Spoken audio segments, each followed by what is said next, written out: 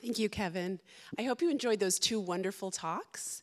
We have a lot more um, coming in the second half. We'll now have a 20 minute intermission, and I want to ask two favors. If you have any questions at all for our speakers that have spoken or for Andy Revkin, who's coming up, please write them on the, the what did Richard say, the old school way on the cards, um, and pass them into the volunteers who'll be circulating, or tweet them to hashtag SSF. And we'll be going through those in the, in the beginning of the intermission to select some questions to ask. And also, the festival organizers would really like your feedback on this event. So, either during the intermission or on your way out, there'll be feedback forms in the lobbies that they'd love you to take just a quick minute to fill out. So, thank you very much. Um, first, I want to introduce Andy Revkin.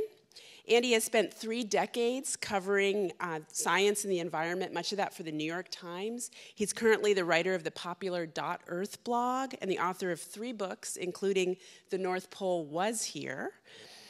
He is one of few reporters to have actually filed stories from the North Pole. He's also broken numerous stories about government interference into scientific work on climate change. Since 2010, he's also been a senior fellow for environmental understanding at New York's Pace University. His many awards for science writing include the prestigious 2011 National Academy of Sciences Communication Award. And I just want to say personally, as a fellow journalist, I find Andy simply amazing. He operates on all channels 24 hours a day, tweeting, emailing, blogging. Um, but unlike a lot of social media, which has just a high level of noise, um, Andy has this high baud rate, and he's creating this seamless, thoughtful dialogue about this really difficult issue of climate change. He's been described as a knowledge based journalist. Uh, that provides a cross cutting discussion of science, policy, and politics that challenges assumptions among partisans on all sides and widens the menu of options available to policymakers rather than narrowing them to just a few. This is something all journalists should aspire to, but few do. And finally, if you're wondering, can he sing? The answer is yes. He's a talented performing musician. He's performed with Pete Seeger. He's currently recording an album. Please welcome Andy Revkin.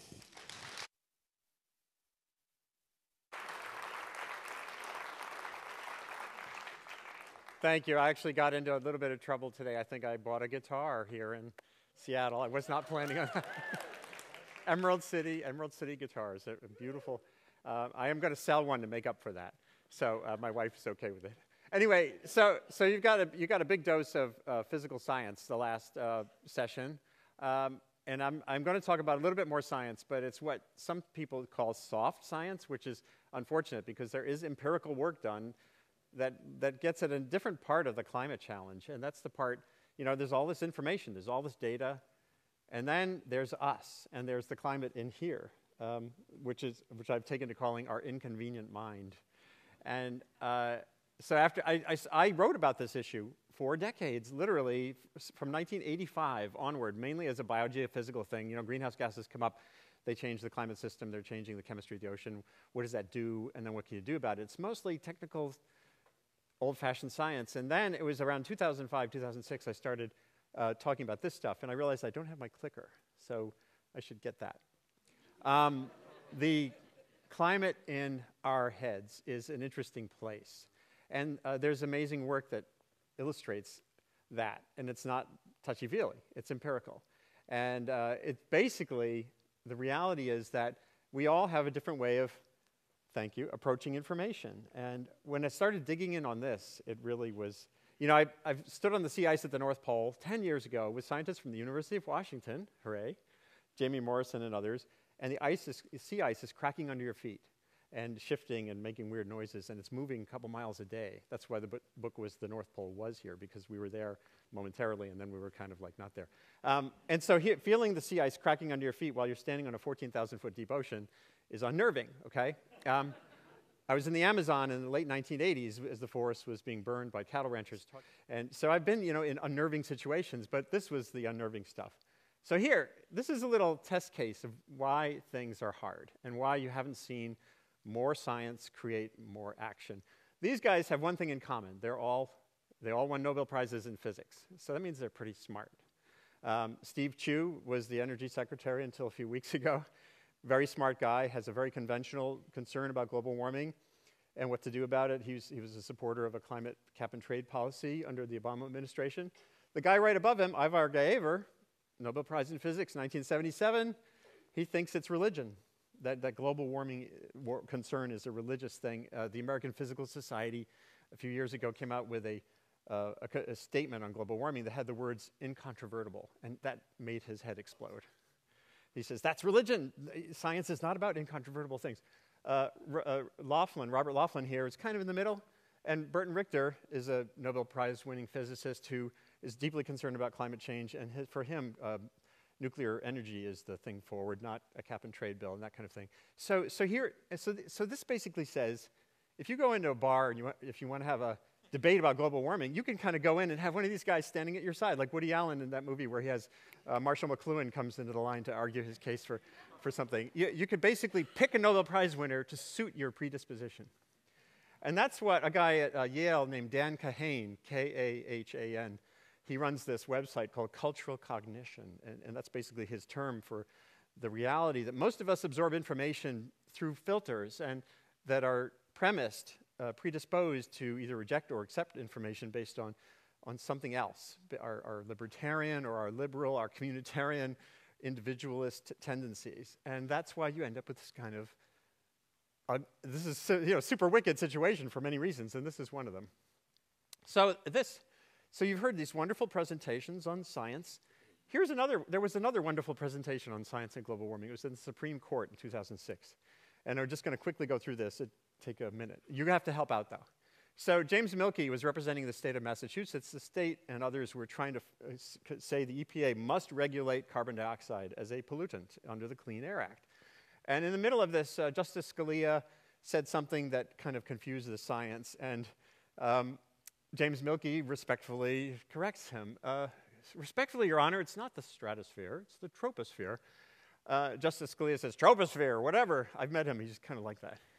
Uh, I told you before that I'm not a scientist. Laughter. that's, that's actually in the transcript. That's, that's why I don't want to have to deal with global warming, to tell you the truth. Now, now, now, and it's very easy, uh, if, you know, depending on your predispositions, to react to this as saying, oh, that conservative Luddite justice, you know.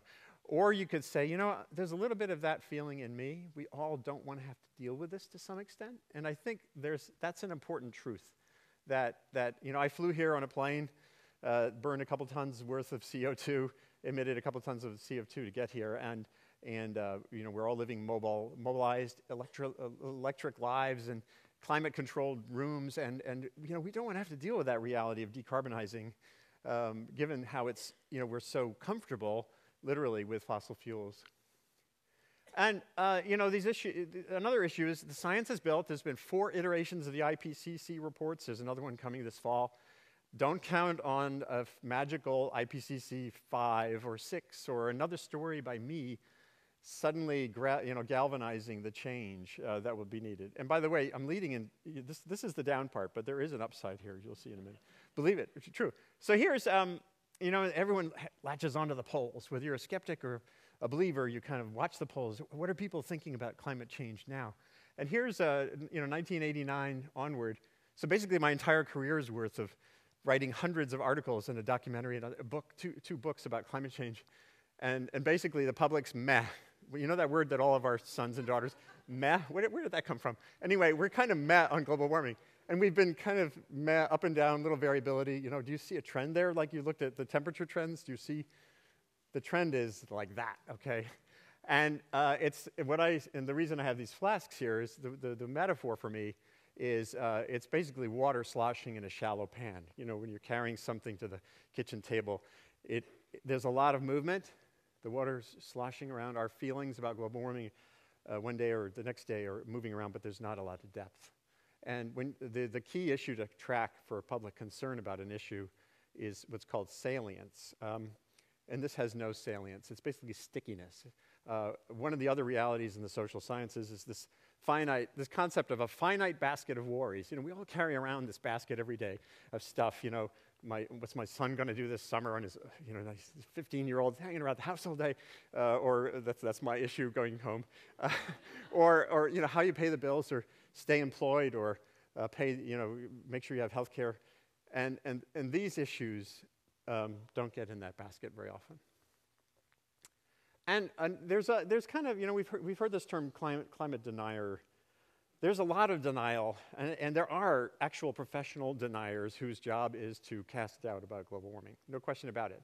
But I was in denial on climate for, for, for decades. I expected more information would change the world, just as many scientists do. And I've learned, as you heard a minute ago, that's actually not that simple.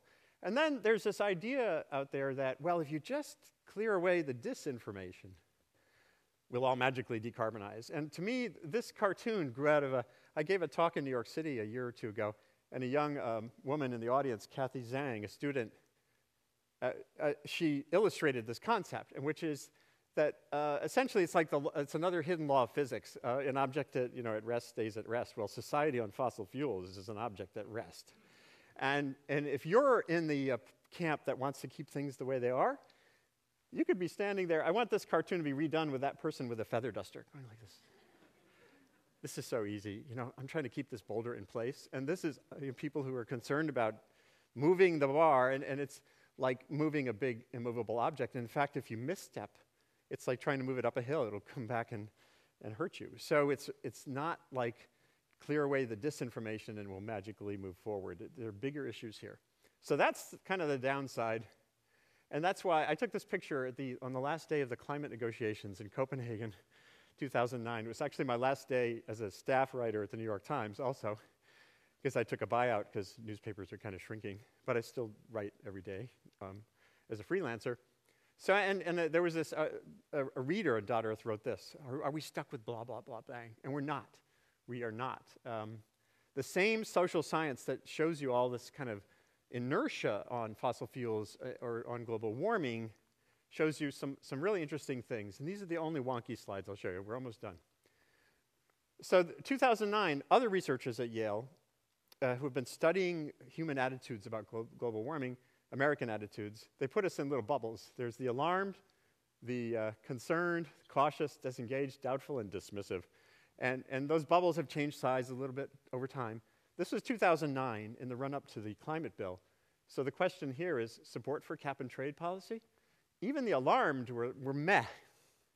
So if even the alarmed are maybe, you know, this is yes, no, that tells me that bill was never going anywhere. So anyone who thought that that was kind of a realistic uh, alternative was, was dreaming. But here's the good news support for providing rebates for purchases of solar panels and fuel efficient vehicles. Everybody, even the, look at the dismissives are meh, which is pretty rare thing. I'm sure you know some. And everyone else is like, yeah, that's a pretty cool thing. You know, and, but th- when I show this to economists, I know there's at least one in the audience, the comic economist, um, they say, well, that's just because you're giving away something. And I said, yeah, that's true, you know, that's right. But then this question support for requiring, mandate requiring 45 mile per gallon uh, fuel efficiency across vehicle fleets, even if it costs more, $1,000 more. Would you support that?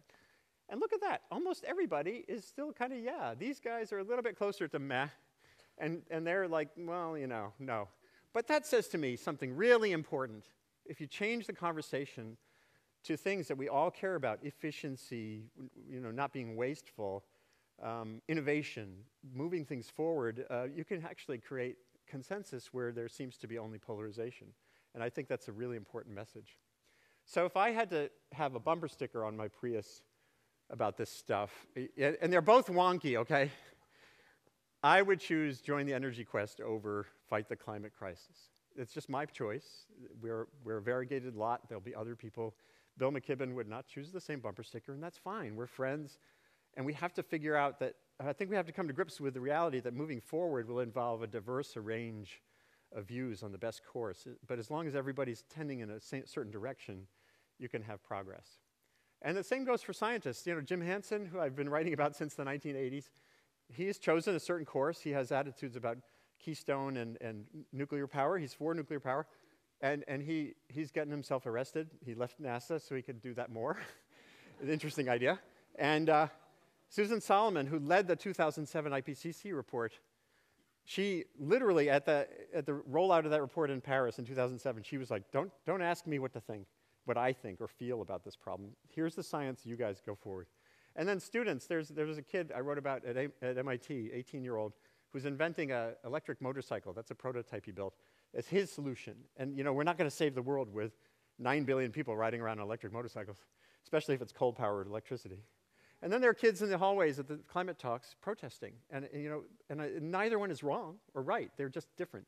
And they, but they're engaged and they have a, a sense of, of urgency, but also hopefully some patience. Because the other reality about this, about this problem is it's not going to be, this is not a one piece of legislation, a one treaty problem. It's about a new relationship with energy and the atmosphere. And we have to have a little patience even as we retain that commitment to moving forward. So thank you very much. And now we're going to enter into a conversation with the, my partners here.